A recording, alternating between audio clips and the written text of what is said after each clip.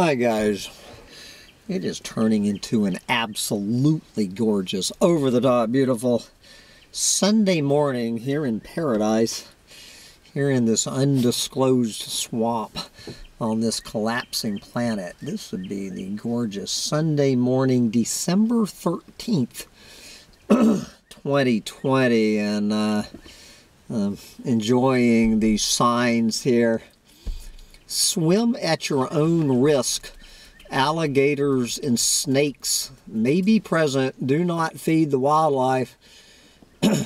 about warning, help prevent the spread of water weeds. And my favorite hilarious knee slapper down here, airboat regulations. Yes, airboat regulations. No one shall operate an airboat between the hours of 11 p.m. and 6 a.m. How about the airboat regulation? No one shall operate an airboat, period. But I have gotten myself in enough trouble with airboaters, so I'm going to shut up now and uh, just do what I ever do every day, and that's just check in with my email from Alert listeners and over there on the mainstream media to see how this planet has been collapsing while I've been trying to get my hip camp in business. So we're going to look at a couple of articles sent in by alert listeners from phys.org, P-H-Y-S.org. How about the greening of the earth is approaching its limits and this is for anyone, any clueless moron. Uh, climate change, and are actually saying that global warming and higher CO2 emissions are good for the planet because they fertilize plants. Uh, anyway, just uh, trying to bust that myth. Um, there is no mystery about the formula. Plants need CO2, water, and nutrients in order to grow. However much the CO2 increases, if the nutrients and water do not increase in parallel, the plants will not be able to take advantage of the increase in the gas, says Professor Joseph Peñuelas of wherever. Uh, adding that the fertilizing effect of the CO2 will not last forever. Plants cannot grow indefinitely because there are other factors that limit them. And if the fertilizing capacity of CO2 decreases, as there will, as it will, there will be strong consequences on the carbon cycle and therefore in the climate. Yes. Uh, blah, blah, blah. These unprecedented results indicate that the absorption of carbon by vegetation is now beginning to become saturated. This has very important climate implications that must be taken into account in possible climate change mitigation strategies. Nature's capacity to sequester carbon is decreasing and with it, society's dependence on future strategies to curb greenhouse gas emissions is increasing, warns Professor Peñuelas. Yes, and next to that in phys.org we have the uh, Do You Really Think So uh, headline Current Pace of Action on climate change is unthinkable. Yes. Uh, um, it is unthinkable to continue at the current pace. You know, they're talking about the, you know, this joke Paris Climate Agreement, acting like it's doing a damn thing to save the planet. It is unthinkable to continue at the current pace. The global response to climate change is completely insufficient and leaves the world on a road to hell. And there you go. That's according to four former senior members of the United Nations Framework Convention on Climate Change Secretariat. Uh, there you go. In reviewing 30 years since the launch of international negotiations on climate change, the team state that over over the three decades we've been you know talking about this global implementation of the ensuing commitments is failing and ramped up action is required urgently to avoid dangerous climate change and to stay within agreed temperature increase thresholds do you think so where have we heard this before? But going over to the mainstream media, we uh, get some kind of some climate change 101 under Associated Press explainer, the real math behind this quote net zero carbon emissions. This is the mainstream media spelling out uh, the Associated Press spelling out all of this BS about these net zero uh, carbon emissions. More than 100 countries have announced plans to cut their greenhouse gas emissions to, quote, net zero in coming decades to help curb man made climate change. The target has also been embraced by corporations, states, and cities wanting to help stop the planet from getting too hot for human, human comfort. Don't forget China weighed, weighing in on this, and uh, Joe Biden uh, weigh, weighing in on this. But what exactly does net zero mean? Does it mean no more smokestacks?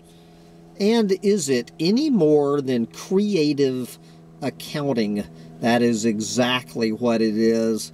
It is creative accounting, as zero means addition and subtraction it will be next to impossible. No, it will be more than impossible for the world to ever wean itself off fossil fuels because they are used in products such as plastics and in aviation, meaning emissions of greenhouse gases will continue, blah, blah, blah.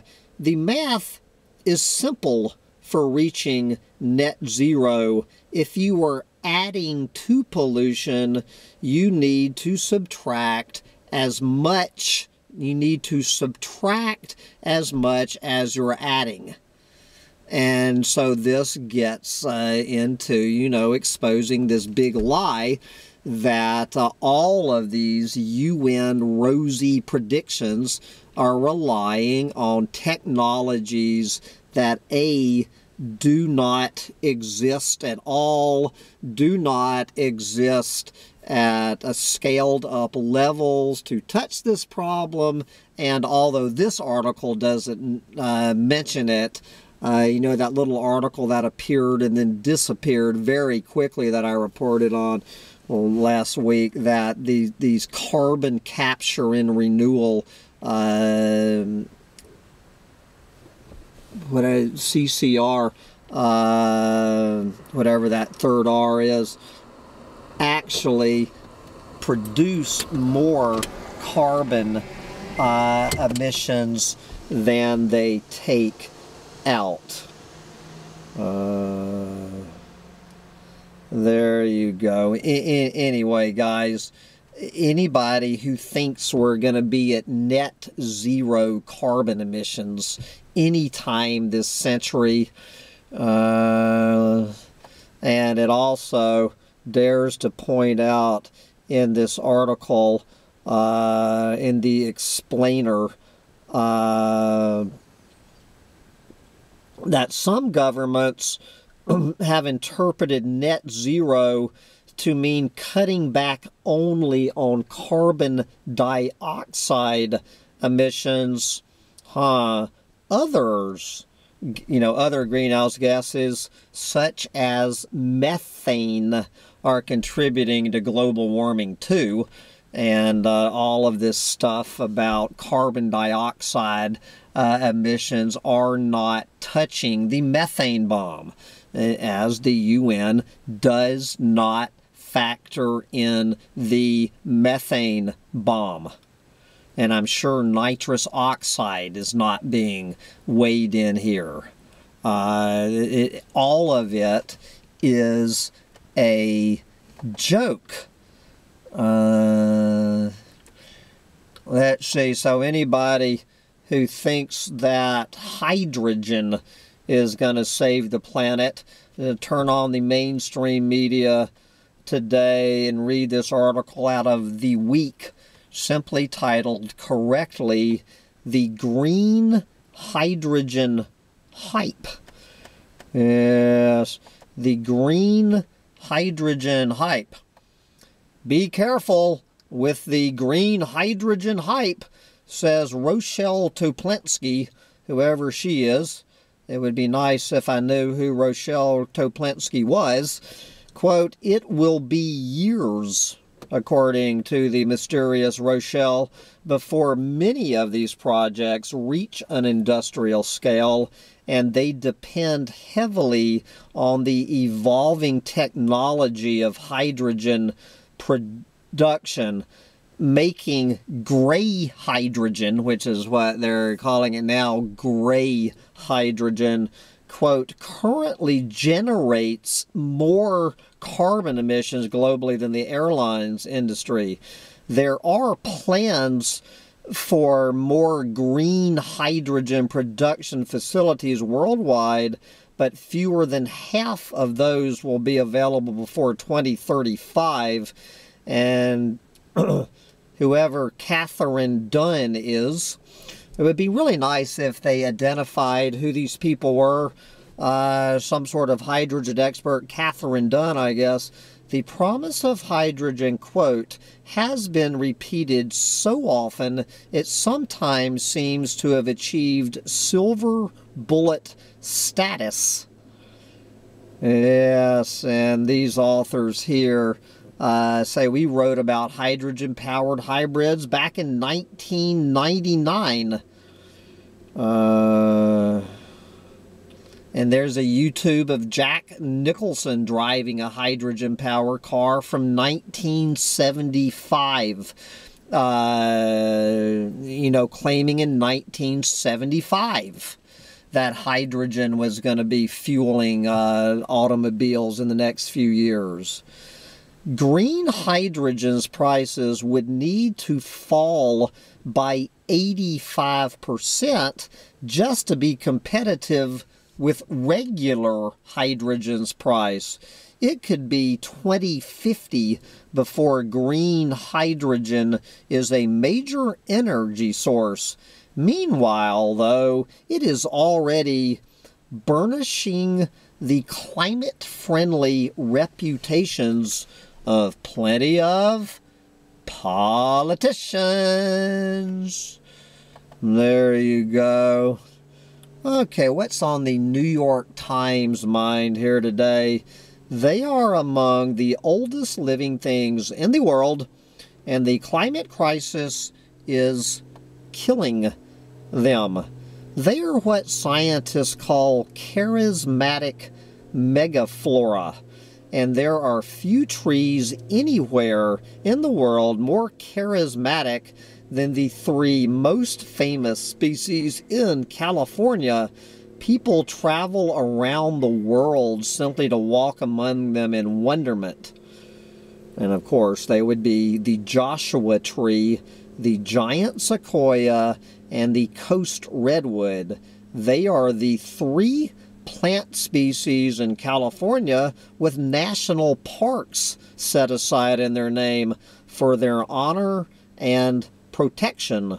Scientists already feared for their future.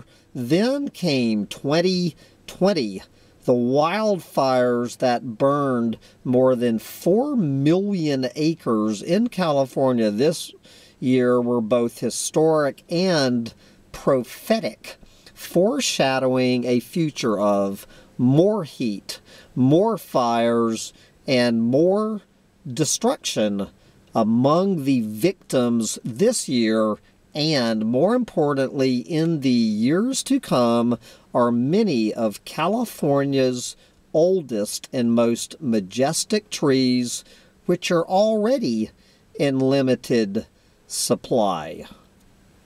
In vastly different parts of the state, in unrelated ecosystems separated by hundreds of miles, scientists are drawing the same conclusion. If the past few years of wildfires were a statement about climate change, 2020 was the exclamation point.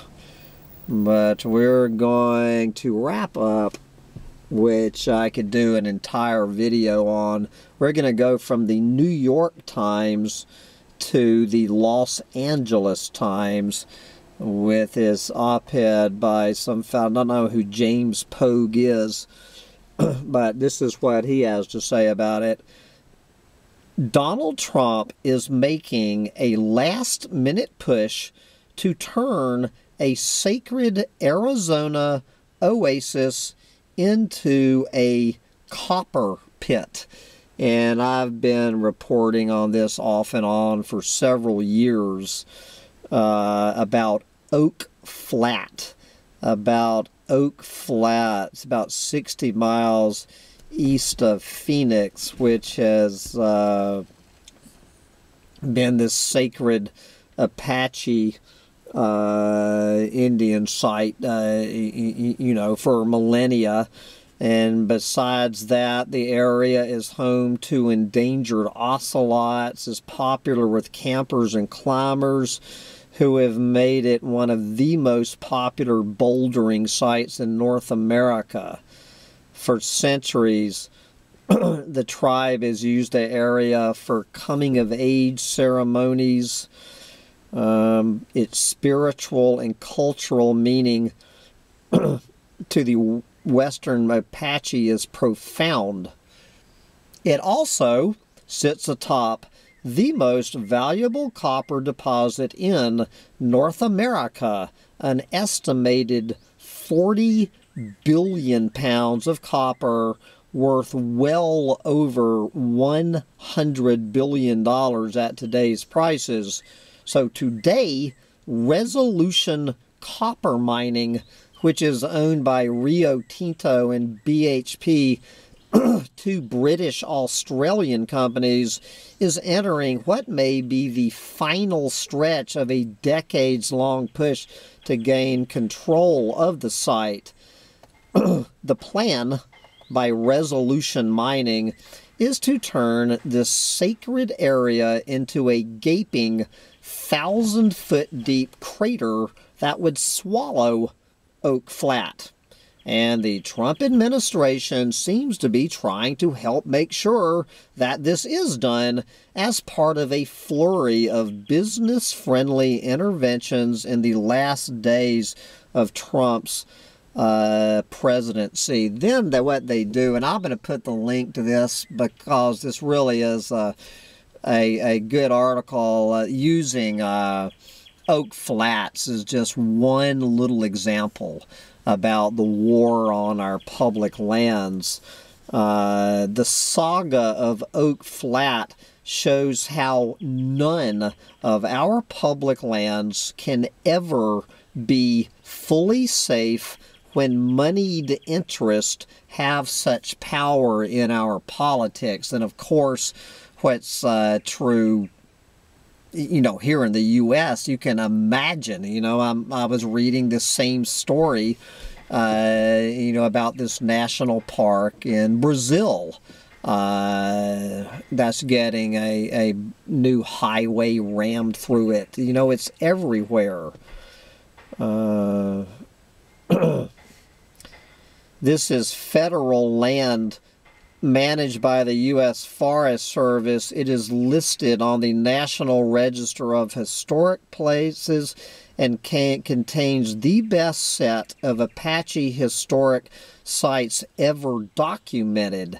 It has even been specifically protected from mining for more than a half century when President Dwight D. Eisenhower, recognizing its natural and historical significance, issued an order withdrawing it from mineral extraction. But Ike was not anticipating the huge power that money plays in our contemporary uh, politics. Rio Tinto spent years lobbying Congress for a bill that would give Oak Flat to them as private land, a maneuver that would circumvent Eisenhower's mineral withdrawal.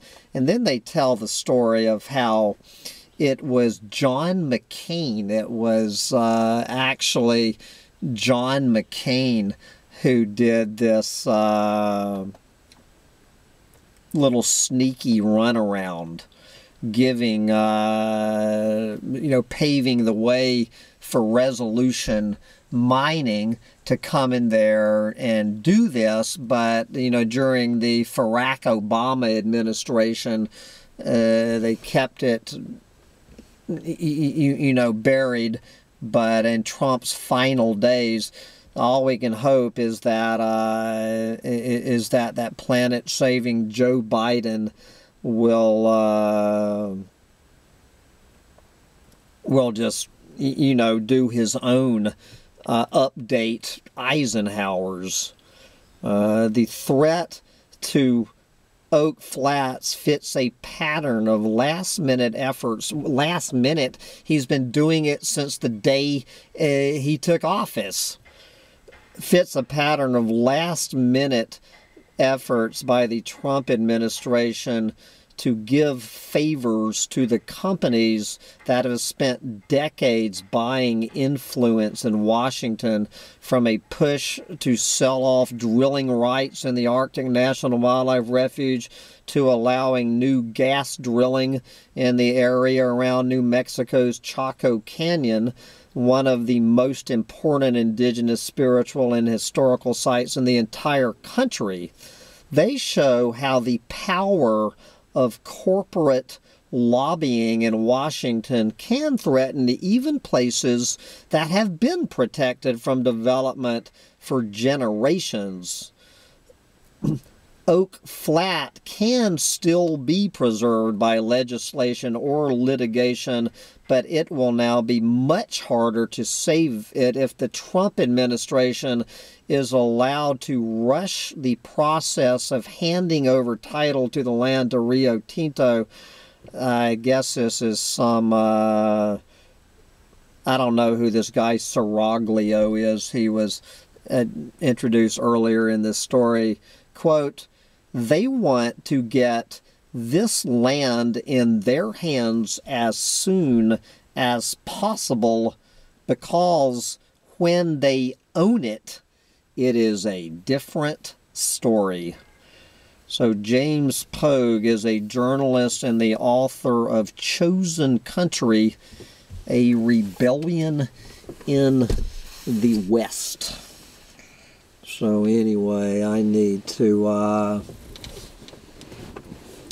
wrap up this Sunday morning edition of today's Chronicle of the Collapse and take the little dog on a walk.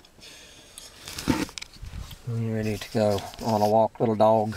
And we're going to go up and uh, check out the Rainbow River. Get out there and enjoy uh, swimming at your own risk with the alligators and snakes and airboats while you still can. Bye, guys.